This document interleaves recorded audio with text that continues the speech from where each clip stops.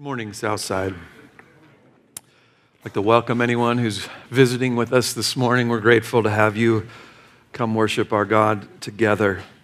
Wanted to thank our brother Jason Sweezy who brought us the Word of God last week. Was so encouraged by that message and grateful for that dear brother.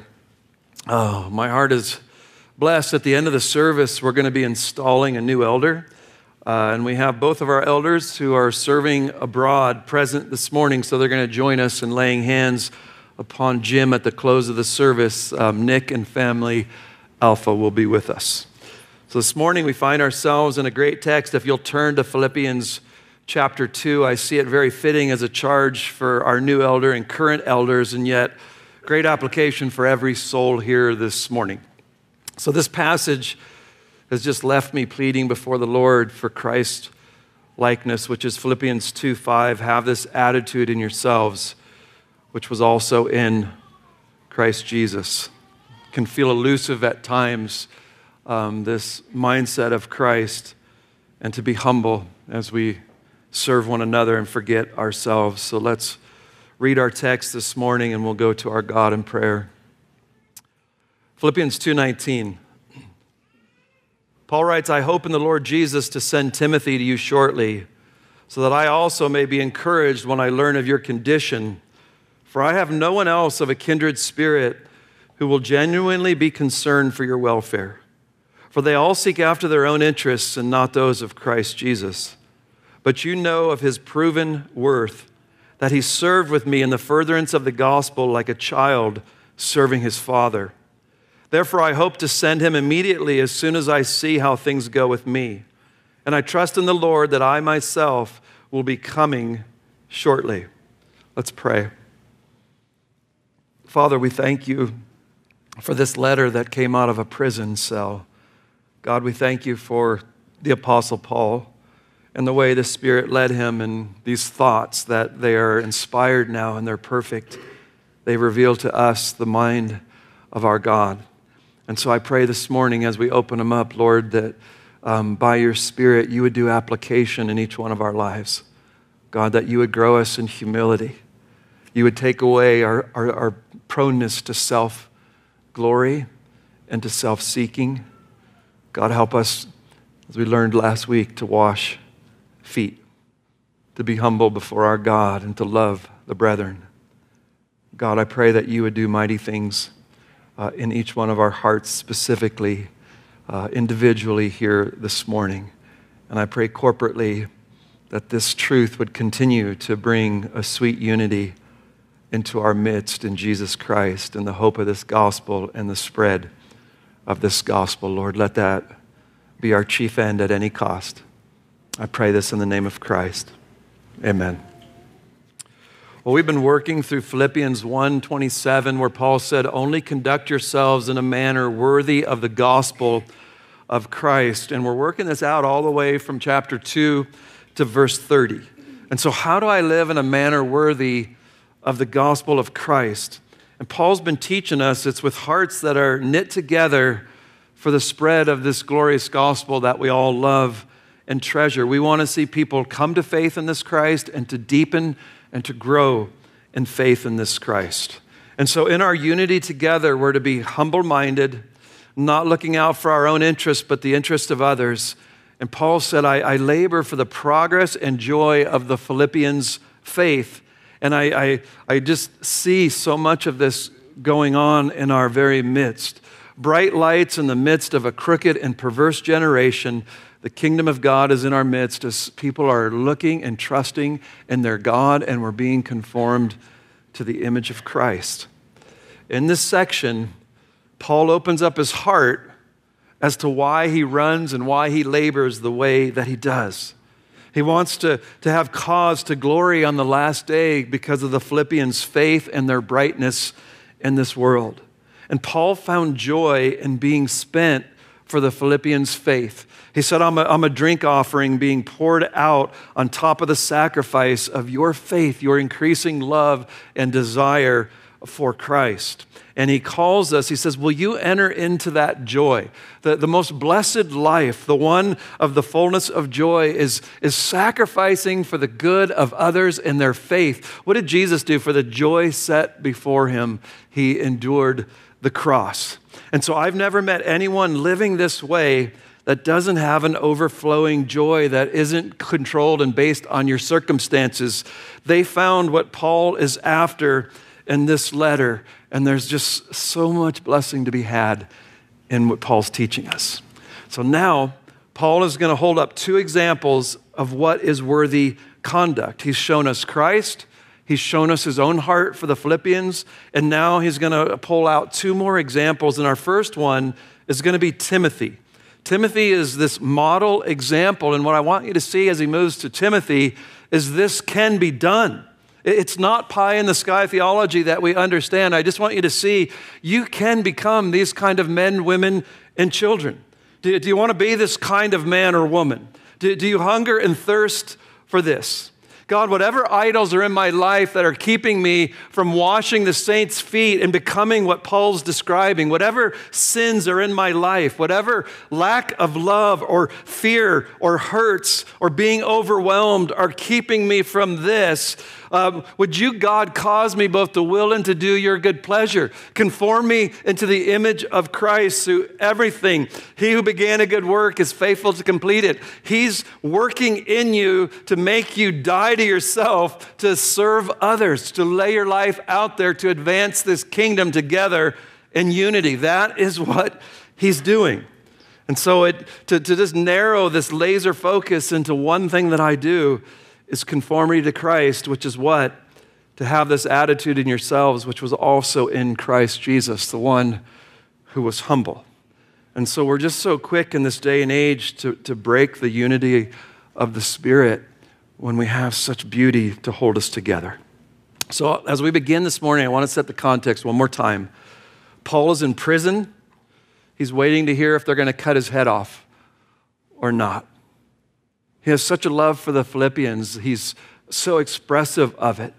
He says, Whenever you come to mind at the beginning of this letter, he says, I give thanks to my God. In Philippians 4 1, he says, My beloved.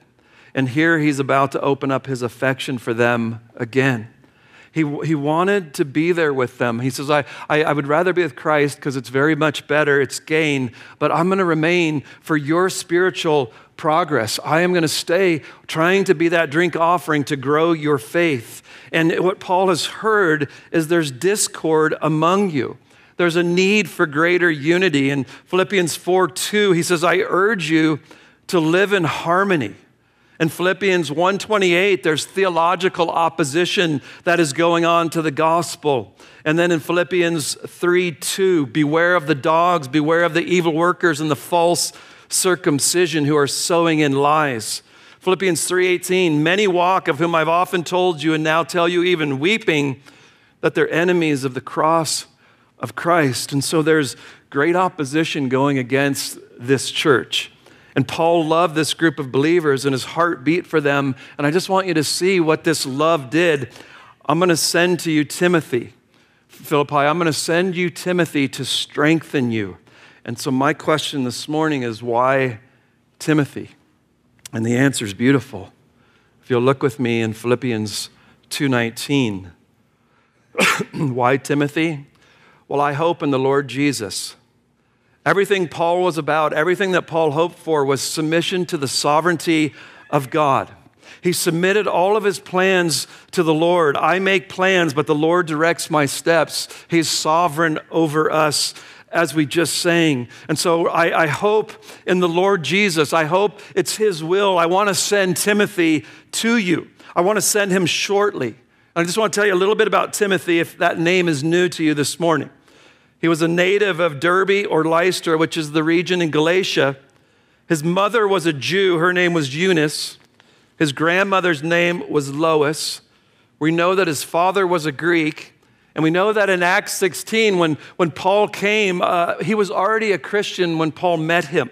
And Paul, through this process with Timothy, made him his protege. And in the scriptures, Paul called him his son in the faith his son in the Lord, his true child, his brother, and his fellow servant. He was with Paul in Philippi, Thessalonica, Berea, Corinth, Ephesus, and Rome. He was with Paul writing several epistles, including this one to Philippi. So he truly, we could say, is Paul's right hand man. And the Philippians knew him. He was there at the founding of their church. So when he says, I'm going to send Timothy, they know exactly who that is. And I want you to listen to why Paul wants to send him. he says, So that I also may be encouraged when I learn of your condition. And the first thing that jumped out at me is I expected Paul to say something different. I expected him to say, I'm going to send Timothy so that you could be encouraged by Timothy. But he says something different. He says, so that I may be encouraged. In verse 16, he says, So that I may have cause to glory by your bright shining lights. I, I want to be encouraged um, as Timothy is sent. And so Paul was so wrapped up in how these Philippians are doing. To die is gain. My life is going to be spent for the building up of your faith. And if you stand, Paul says, then I really live. And you make my joy complete by being of the same mind and, and unity of spirit. And so, this is a man whose heart is so knit with the Philippians and what they're doing that there's just no indifference in Paul's heart toward them. His life is tied up in their spiritual condition. He wants to see Christ formed in them. So I send you Timothy. And does that not strike a chord in our own hearts? My life just gets consumed with my own plans. And it's not, I wonder how the saints are doing today. Let me call so and so. Let me pray for so and so. We are one and when one of us hurt, we all hurt, and one of us rejoice, we all rejoice. Paul is so taken up in this body of believers. And this is the kind of conduct I want you to hear this morning that's worthy of the gospel. To be this knit in heart with one another. This is where the rubber meets the road of an every member ministry in the body of Christ. To learn truth, to apply it in our lives, and how do I minister it to the saints of God? What can I do to encourage the saints in their faith? I want to give myself for the growth of their faith and their conformity to Christ. And so I just want you to just sit before God this morning and say, Is there any of this in your heart? Do you honestly feel this way about anyone? Who do you serve like this? Is there a spouse? Is there anyone the gospel has done this in your heart.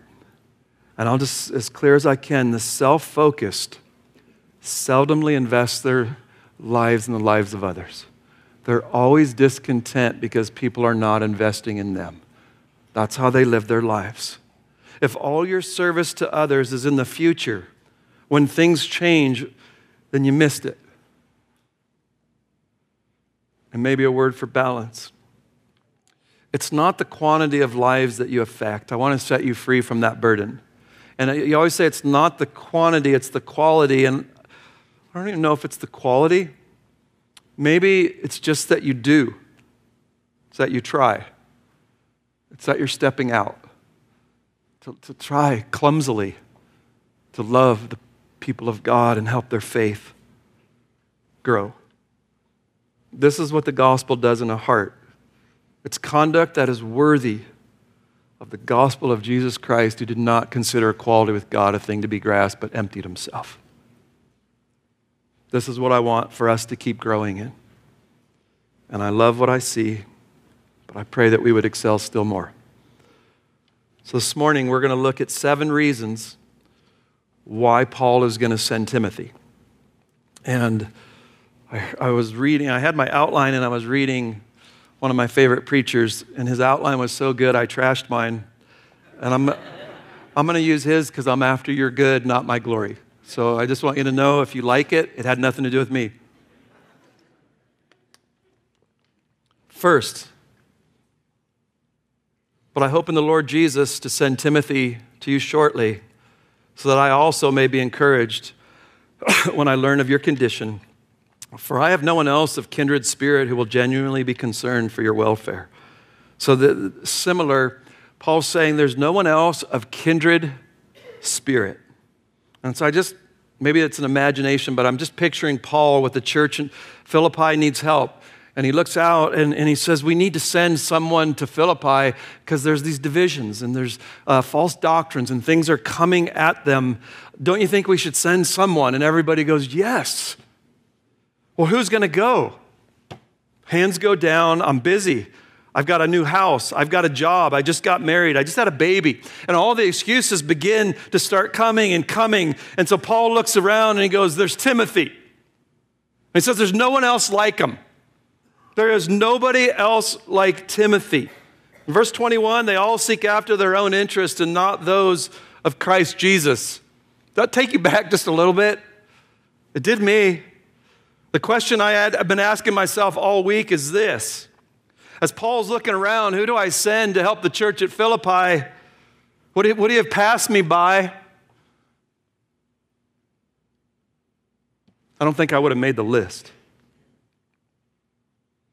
By God's grace, I want to be a, a Timothy. Open your heart up before God. Do you have a spirit like this? Would Paul have chose you? Just look at your last month and you'll get your answer. There's no one else that has a kindred spirit like me, says Paul. It's a beautiful word, it's a compound word that is one souled. There's no one else who's one souled with me toward Christ and others with a genuine concern. I'm going to send Timothy to this church. And I want you to consider who's saying this. It's Paul. Wouldn't you love to have that said about you? The, the one man with zeal, passion, heart, knowledge, love has traveled 1,500 miles preaching the gospel, has been put in prison, almost killed so many times. And to say he's one souled with my mission for life to make much of Jesus Christ and lift up the cross. Timothy is a one souled man with my heart that Jesus has put within me.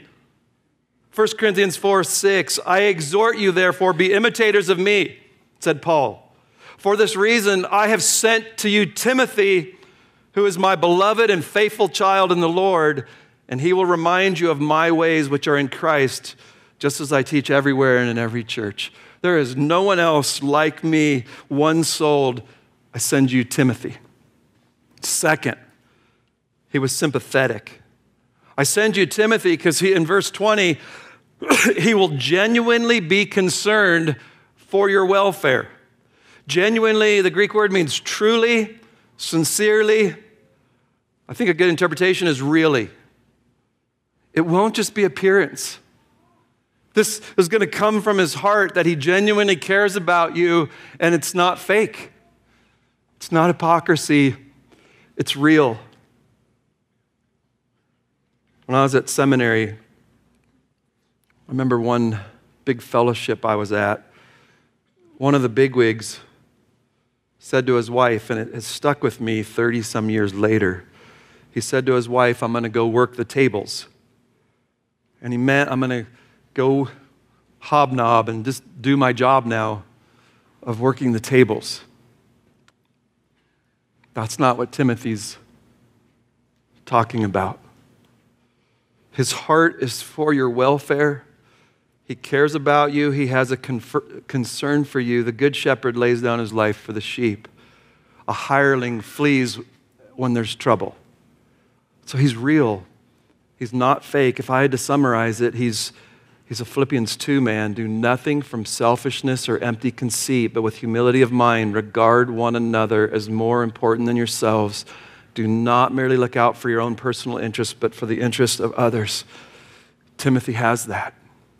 And so, hear this. This, this jumped out at me this week. You can look like you are concerned for others, and you're not. You're concerned about your self glory and your self seeking. Last week we heard about Judas, and Judas acted worried about money being given to the poor when he just wanted to pad his pockets. But Timothy, I send him because he has a genuine concern for you. The word, uh, he has a concern. It's the same word in Philippians 4 6, be anxious for nothing. And so he's saying that we ought to have a concern about others' interests and one is sin and one is good. Philippians 4 6, it's a fear, it's a fear. you're anxious about things fearfully. This is, this is you're anxious out of love. How are they? I'm concerned. I want to be with them. I'm worried for them. And so their spiritual needs are a genuine concern for us. Thirdly, Timothy was single minded in verse 21 for they all seek after what? Their own interests, not those of Christ Jesus. They all seek after their own interests. I, I don't think you could give a better description of total depravity.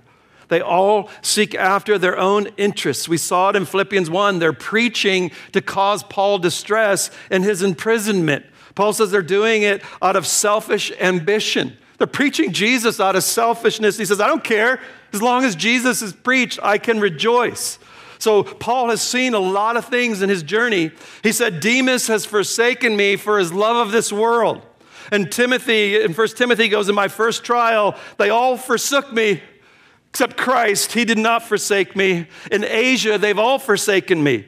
Paul had seen a lot in his journey. And his conclusion, they all seek after their own interests, but not Timothy.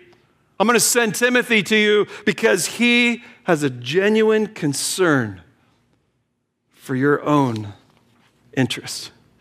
He's a bright star that is just seeking the things of Christ. And what jumped out at me is this is in the present tense. He's always seeking genuinely after your good and your interest. It's not like he got lucky one day. This is what, this is what he did as a pattern of life. That's what the gospel does in a heart. You got some off moments, but this is what the gospel has made us. Timothy's heart for Christ. What was the interest of Christ? Well, he came to seek and to save that which was lost. And he said, This is the will of God, your sanctification. Jesus gave his life for our salvation, our growth, and our ultimate glorification. And I want to take up that interest of Christ and want that for believers and unbelievers. We, we desire that. That is the genuine interest of having the heart of Christ for unbelievers. So, are the interests of Christ becoming more and more ours?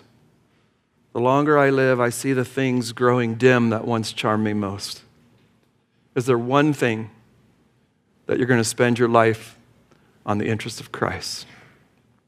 I read about Dawson Trotman's funeral, and Billy Graham got up to speak at it. And he said, Here was a man who did not say these 40 things I dabble with, but he said this one thing I do. This one thing. Timothy had one interest, and it was the interest of Christ Jesus. John MacArthur made an interesting observation. He said there's three ways you can ruin your life you can waste it, you can go toward one goal your whole life, and in the end, it was wrong. And thirdly, you can dabble in a whole bunch of things. Timothy was after the interests of Christ. And I pray that we would run toward that one goal, and it's that of Christ Jesus and not our own interests pray for that for my own heart and for yours. So Paul says, I'm going to send Timothy because he's similar. He's sympathetic. He's single minded. And in verse 22, he's seasoned. But you know of Timothy his proven worth, that he served me within the furtherance of the gospel like a child serving his father. the word is dokamu, which is from the word dokimazo, and we've talked about it in 1 Peter. It was, it's this approving the quality or genuine, genuineness of something by testing. And you would put it in the furnace, and it was usually metal to boil off the impurities so you would have this genuine, approved metal. And so God puts us in trials, and things are burned off. So this genuine part comes out, and he's saying, Timothy's been proven. So, what Paul is saying, this word for know, uh, uh, but you know his proven worth, it's experiential knowledge. And so he, you guys know Timothy. You've watched him. You've seen him in the furtherance of the gospel. You know this man's value and his worth. And you have firsthand witnessed it. And you've seen him furthering this gospel. And he's been tested, and Timothy's come forth approved. So it isn't that Timothy took some kind of test or he passed a seminary curriculum. He was tested by service. And you guys have seen him get in and have a genuine concern and look at your interest instead of his own. He's passed We've lost this in our seminaries today. We have just made it almost 98% academics. And you, if you're smart enough, you pass it and you graduated, and congratulations, now you're a minister. And this is what Paul says we're to do with deacons or elders we're to test them, we're to test their provenness and their worth and their genuineness. 1 Timothy 3:10 let these also first be tested and then let them serve as deacons if they're beyond reproach. And so these people are proven after testing and service. That's why we have aspiring elders and deacons for that purpose. And if you're not serving in this capacity before you're made an elder or deacon, you will you'll be a very poor servant. If you want to go to the mission field and you're not serving here, you'll be a very poor missionary. This is not just for elders and deacons, it's for all of us.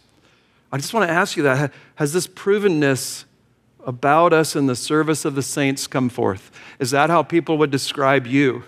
Is that there's a provenness to how you have served the saints? If I were to bring your name up to someone in the church, would they say, Ah, oh, provenness is what comes to mind? Timothy has been proven in the furtherance of the gospel. Fifthly, in verse 22, He's submissive. He was like a child serving his father. Timothy was younger than Paul. Paul was an apostle. And what you see here is humility. There's a, there's a young man in submission to God by being in submission to the apostle Paul. Timothy's not arguing, he's not competing with Paul, he's not arrogant. I got this all figured out. Let me tell you how to do this, Paul. I think one of the worst things that you can do to a young man is put him through just the academics of seminary and throw him into ministry. 1 Peter 5 5, you younger men likewise, be subject to your elders, and all of you clothe yourselves with humility toward one another, for God is opposed to the proud, but gives grace to the humble. And Timothy's attitude was humble. He's like a child serving his father, not a sergeant, a private serving a sergeant. He came alongside of his father in the faith and he learned with joy. And Paul says, You're my true child in the faith. And I just think all of the examples, I think anyone who's a dad knows this. I, I have to go back 25 years for this illustration because it doesn't happen anymore. But I was, I was going to stain my fence like many decades ago. And I remember my, my boys, they, they just wanted to be with dad. And they came out there and we worked so hard and for hours in the heat staining that fence. And I just remember what hit me is it was such a joy for them to be working with dad uh, and helping. And I just sat there smiling, going, This is sweet to have that joyful. So it, it was 25 years ago. I, can't, I couldn't think of anything since then. Um, but it, it was so joyful.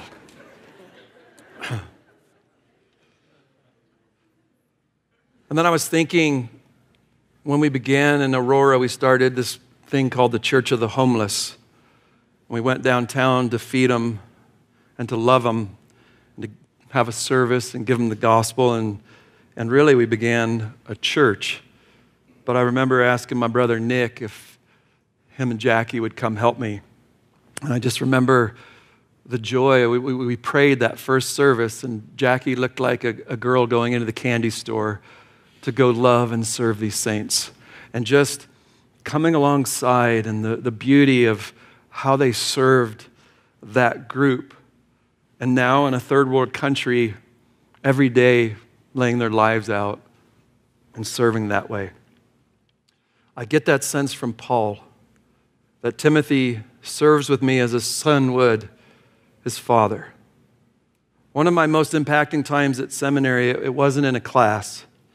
It was when the, one of my teachers named Alex Montoya, he took me to, he was preaching at the, the master's college, and he put me in his car and, and drove over, and I watched him meet people, get up there and preach, and how he ministered afterwards. And just the joy of, of watching him minister was so impactful, I'll never forget it. And I just, I think we need more Timothys that come and serve this way. Let's serve together to advance the gospel like a son with his father. And so I pray, don't ever lose this beautiful spirit towards those who are older in the faith. It, it breaks my heart when churches see these people who are older as disposable, hurting their marketing strategy. It makes me sick. These are the people who have been proven and tested. And they're still sitting here worshiping God after everything that they've been through in their lives. And as young people, get them. Will you teach me? Will you help me learn how to handle this and grow through this? Hold in esteem these older saints who have journeyed with God through all these years like a son serving their father. That's for free.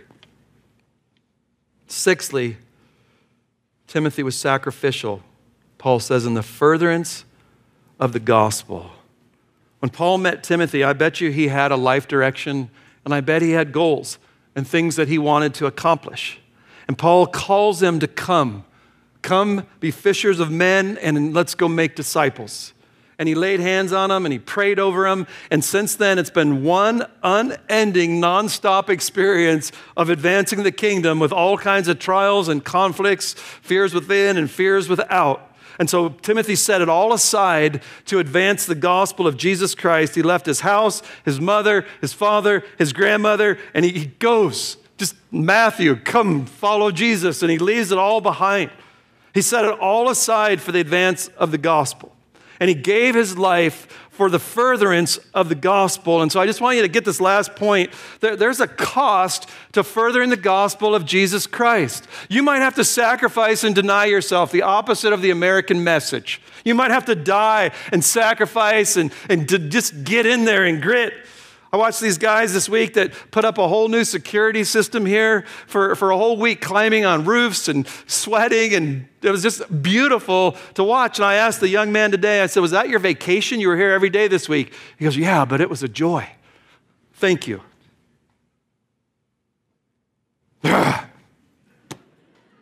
Who's willing to pay it? That's what Jesus said. Who wants to die? Take up your cross and follow after me. And then in verse 23, he was serviceable. Therefore, I hope to send him immediately as soon as I see how things go with me. I, was just thinking, this is Paul's right hand man, his son in the faith, and he's in prison, and he's going to send his very best to go help them.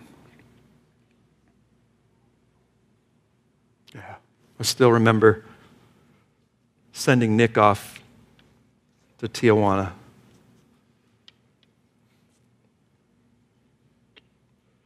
Paul says, Go. And he goes. Come and he comes. Timothy was just always available. If a need, that's where he went. And so you can have every trait that we've looked at, all six S's, and not have this one, and, you've missed it. I'm going to go serve. So, what an example of Philippians 2 kind of conduct by Paul and Timothy both, what's going on here. This is one that will cause Paul to glory on the last day, and others will glory because of Timothy. Don't stop at learning the Word of God, applying it to your life without how can I pour this into others? How can I pour my faith into other people to be a drink offering to see their faith grow, the joy of the faith? Nothing brings me greater joy than to watch that. And so, just a word to parents. I need to finish up. A word to parents. Timothy was like this. Paul met him because of his mother and his grandmother. So I just, moms, you weary? But look what God did with their ministry to this young boy that literally changed the world. And, and, and what I love about it is it says, Timothy, from childhood, you knew the sacred writings. Since you were a kid, your, your, your mother and grandmother have been pouring it into you. And it says that you knew of, the, of Christ, you knew of redemption. So his, his grandmother and mother knew a redemptive historical view of Scripture. They saw Jesus through the whole thing, and they've been teaching Timothy how to see Christ through the uh, Genesis to Revelation. And so he, he's, he's been taught by this faithful mother and grandmother the, the, the gospel of Jesus Christ. And so I just pray, moms, it's not Mother's Day, but I wish it was. What, what a high calling.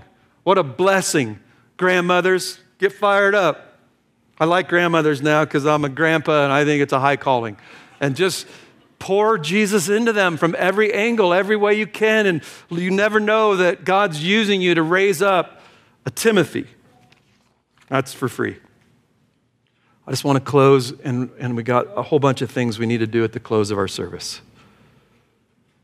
I just wanted to encourage you as we walk away this morning that Timothy had ebbs and flows in his life. And I want you to see that he had victories and defeats. There are a few years later that Paul has to write to Timothy to encourage him because it appears to be an ebb in his life. And Paul's trying to tell him, Timothy, God didn't give you a spirit of fear and timidity, but of power and love and perseverance. And so I think he's, he's getting attacked and he's being tempted to back off. And, and he's struggling, and Paul has to come and remind him and encourage him again with the gift that has been put upon him. And so I think Timothy is a good model and example for all that he was, but I, I want him to be an example as well that it, it's a battle. It, it is a battle that we must fight. And, and we might have three steps forward and two back. And I just want you to hear this work out your salvation with fear and trembling to be this kind of joyful saint, losing your life for the service of others, because it's God who is at work in you, both to will and to do his good pleasure. And he who began a good work will be faithful to complete it. God is at work in each and every one of you to make you into this kind of person like Jesus Christ and to die, to lose your life and go wash other people's feet. Just that's what he's doing in every life here this morning. And again, I feel like I just want to offer to some of you this morning Jesus Christ because you're weary and heavy laden with just frustrated because the world doesn't love you enough, the church doesn't love you enough, your spouse doesn't love you enough, and you just live your life looking at yourself self, self, self. That's all that you live for. And Jesus came to set you free from the bondage of that misery. And so I want to invite you this morning to come to Jesus Christ if you sit in that bondage and to have the freedom to love for the first time and to begin to lay your life out for others. You know as you sit here that you are nothing but a big bucket of selfishness. You know that all you do is run through your mind 24 7 me, me, me, me, me, me, me. And you serve no one, you criticize everyone, and you're a slanderer. And I just want this morning that maybe the Spirit of God is working in your heart to say, I'm done with this life of absolute selfishness. Come to Jesus and let Him give you rest for your souls. And His yoke is to go do everything I've been talking about, and now it's easy and gentle because the greatest joy you have, come join Paul's joy of loving and serving others because Christ has loved and served you. Come to Jesus this morning. Do you spend more time criticizing the body of Christ than serving it? I'll leave you with that question. Father, I pray for Southside. God, let us look into the face of Christ and lose our lives for the furtherance of the gospel, for faith to be growing in one another, to be deepened, to trust you more in every high and stormy gale, to go out to the lost and tell them there's a Savior. There's one who can save from their sins and the wrath of God. God, awaken us to this need awaken us to our neighbors, to everywhere we go, Lord, just to find ways to, to proclaim this gospel. God, grow us in a deep spirit of this truth. God, I thank you. I thank you for Jesus Christ.